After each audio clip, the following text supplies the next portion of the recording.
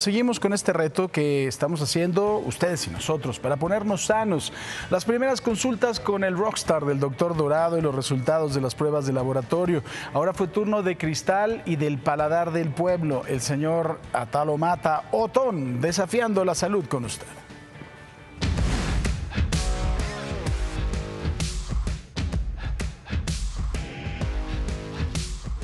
Pues ya finalmente llegué con el doctor Dorado a que me diera mis generales. Sí hay una condición que es la resistencia a la insulina, el tema de un poquito del hígado graso, pero todo eso lo vamos a solucionar con cambios nutricionales. ¿Quién puede decir que no a un delicioso taquito de campechano, de nanita? Pues, yo lo entiendo.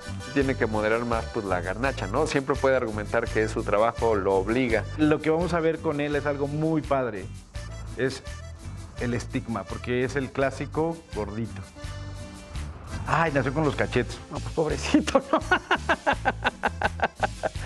que, que, que Gatalo tenga esos cachetes de nacimiento, pues yo creo que por eso nunca se le perdió a sus papás, ¿no? De, ah, pues ahí está el niño cachetón. A lo mejor era cachetoncito, pero ahorita.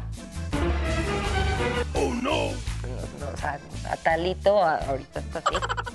Es un mito porque yo me cuido mucho. ¿Yo en qué momento? Que me demuestren. ¿Hay pruebas? Adelante, ahí voy a estar pendiente de que me demuestren, de que me demuestren con un video, una fotografía, que me han visto comer postres, pastelillos o cualquier tipo de chatarras.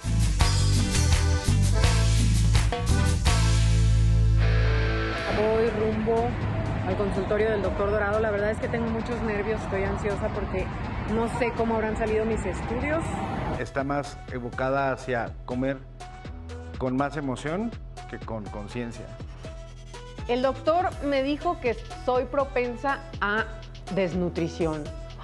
Escuchas esa palabra y es impactante. Vamos a tener con Cristal un grupo, ¿no? No solamente la parte nutricional, la parte médica, sino la parte del coach de salud mental. Se le ve, está muy flaquilla y después también con todo el desequilibrio que significa ser mamá.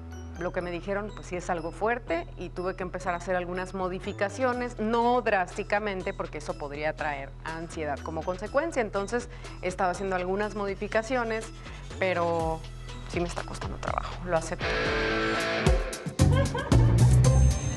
Pero que anda desayunando usted. Un licuado con proteína. Y, se ve que lo está disfrutando. Es mi primera vez, entiéndeme. Le he bajado un poco a los carbohidratos, el refresco de cola también ya le bajé, entonces ahí vamos. Podrá comer bien, podrá meterle proteína, el licuadito y todo.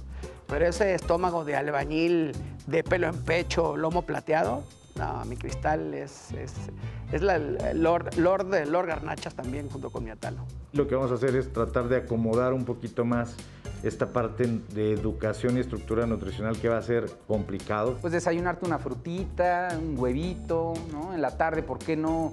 Eh, tu sopa con eh, arroz y un guisado, dos tortillas. Atalo, deberías de asegurar esos cachetes, hermano. Son patrimonio de la humanidad.